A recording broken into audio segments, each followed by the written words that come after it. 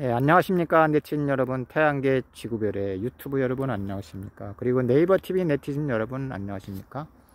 오늘은 24년도 예, 286일째 되는 예, 24년도 10월 13일 주말 일요일 저녁 5시 반에서 6시 정도 되어 가고 있는 시점인데요.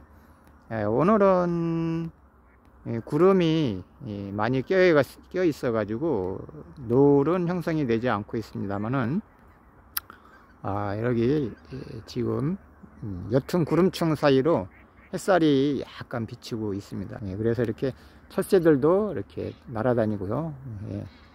철새들도 이렇게 날아다니고 저기 도비산 자락 위에도 철새가 지금 음, 날아다니고 있습니다 여기 코, 코스모스가 심어져 있어 가지고요. 네, 아주 좋아요. 네. 산책하고 아이들에게 좋은 감성을 심어줄 수 있는 그런 장소예요.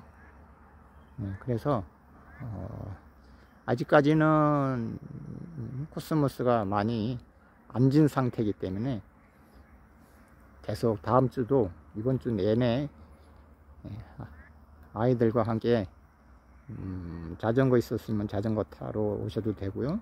산책하러 오셔도 되고 그렇습니다. 네. 예쁘죠?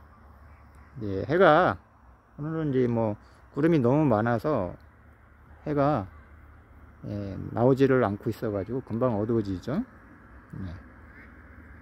네, 이쪽만 저쪽만 지금 약간 옅은 구름층이 있어 가지고 예, 반영이 이렇게 보이고 여기 반영은 진짜 예술이에요 아주 조용히 차분하니 예, 물살이 예, 새들이 움직이지만 않으면 물살이 거의 움직임이 없어요. 이렇게 지금 저기 물질하면서 다니고 있는 예, 철새들 동실동실. 참고로 서산시의 서산의 새는 이제 가창오리하고 충동오리입니다. 그리고 이제 서산의 꽃은 국화죠 국화. 서산의 꽃은 국화입니다. 예. 안면도 꽃방라면 때 안면도 홍보, 홍보 요원으로 좀 음, 하기도 하고 사산시의 주요 네, SNS 홍보 활동도 좀 하고 사산 시민 기자도 좀 취미로 하고 그런 식으로 좀 지내다 보니까 서산에 구석구석은 좀 환경적인 부분은 좀 잘 알고 있습니다. 네.